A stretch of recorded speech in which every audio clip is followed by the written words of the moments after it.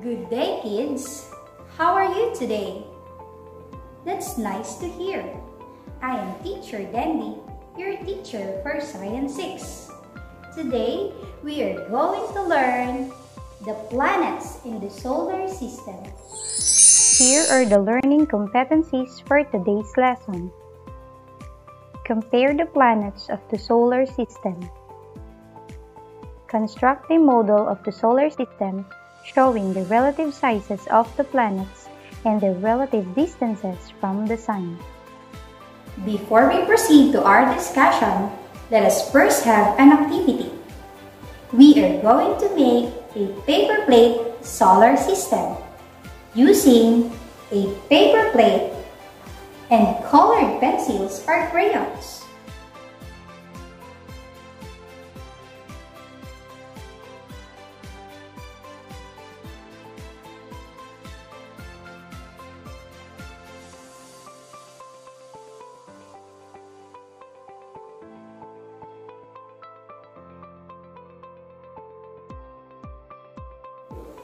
Based on the solar system paper plate that we made, which is the bigger one and what does it represent?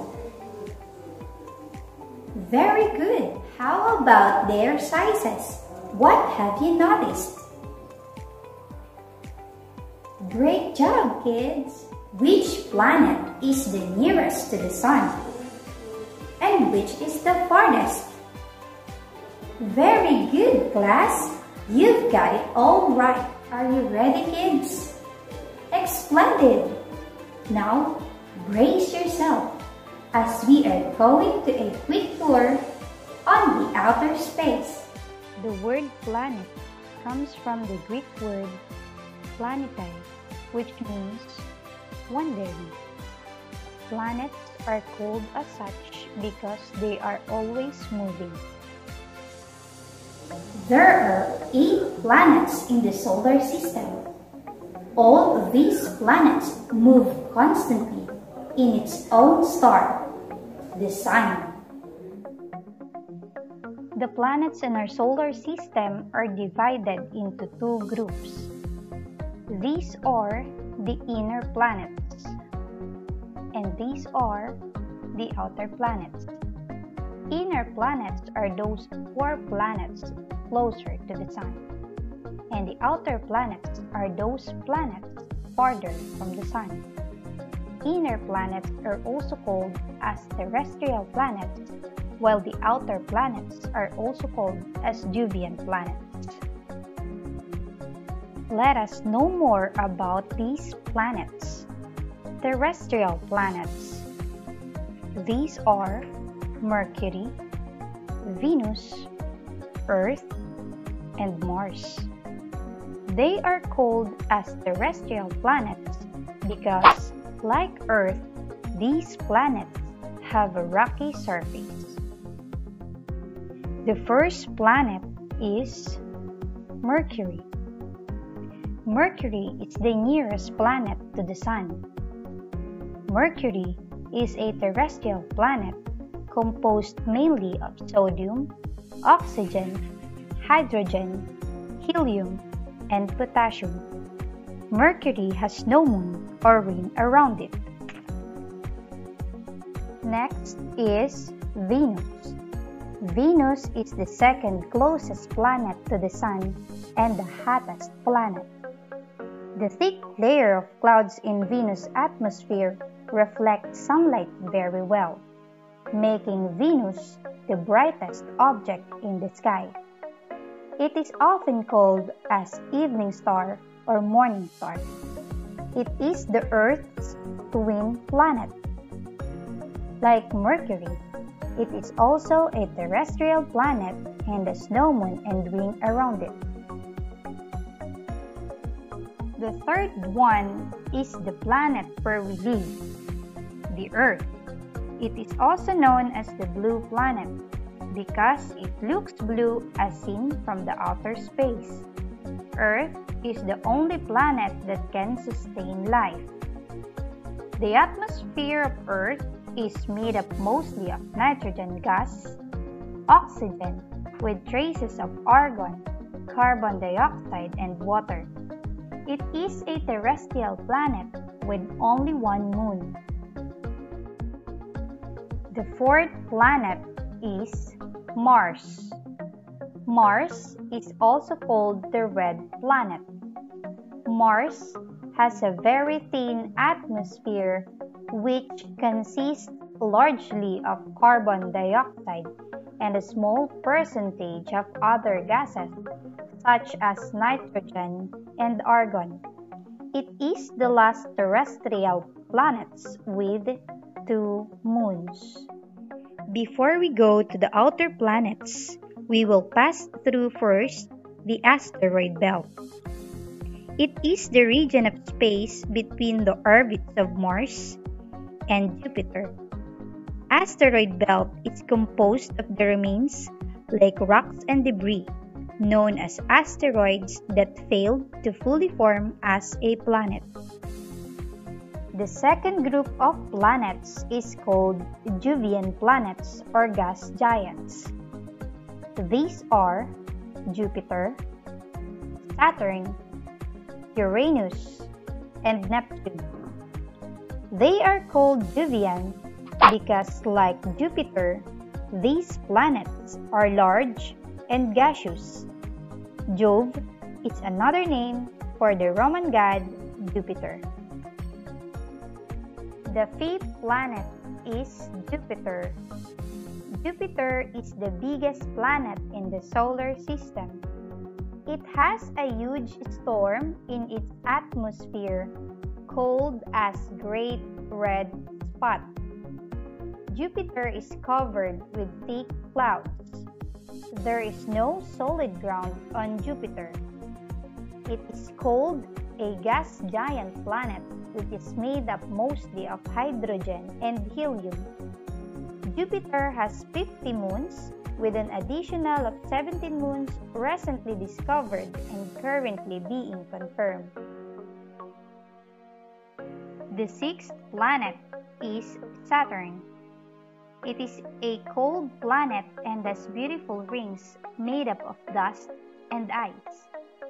Saturn is a gas giant without a solid surface. It is composed mostly of hydrogen and helium. There are 53 known moons surrounding Saturn.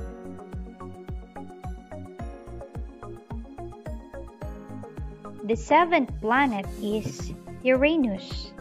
It is the first planet discovered by means of a telescope. It is considered as ice giant and the coldest planet.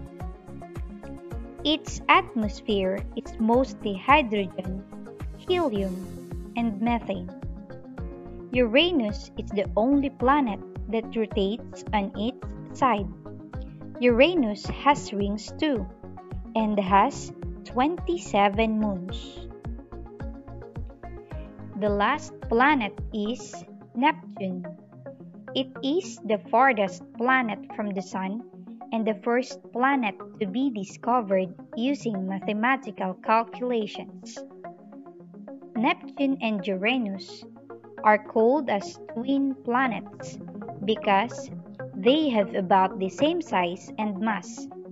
Like Uranus, it is also an ice giant with rings and 13 moons. Now, let us go to the dwarf planets. Some examples of dwarf planets are Pluto and Ceres. Pluto is a dwarf planet beyond Neptune.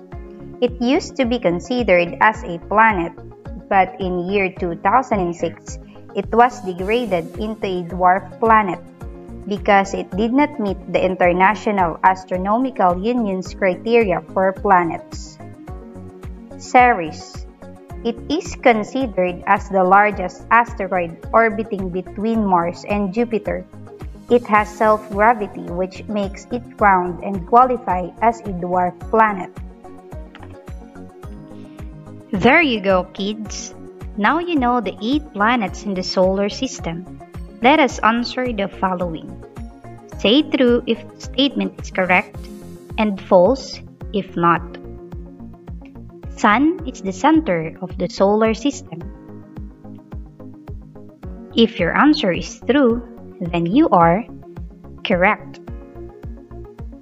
Terrestrial planets are composed of Mercury, Venus, Earth, and Mars. The answer is true. Excellent. Saturn is the only planet with rings. The answer is false because Saturn is not the only planet with rings. Uranus and Neptune have rings too.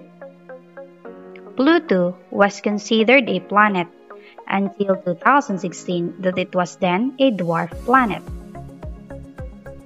The answer is false because Pluto was considered a dwarf planet in the year 2006. Mars is known as the red planet. If your answer is true, then you are perfect. Now you know the eight planets of the solar system. We can therefore say that not all planets are the same. They are the same at some point and different in many aspects.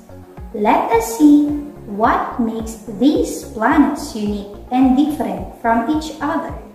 They differ in size, distance from the sun, composition, gases in the atmosphere, number of moons, and movement.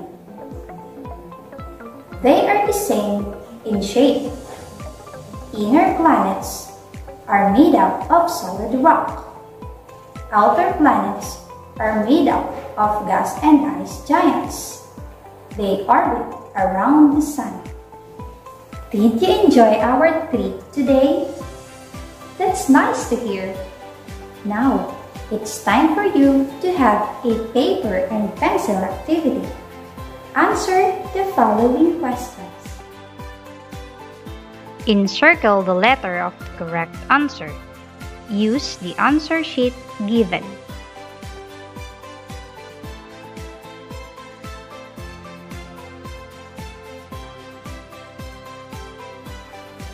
Thank you for listening, kids. God bless and keep safe.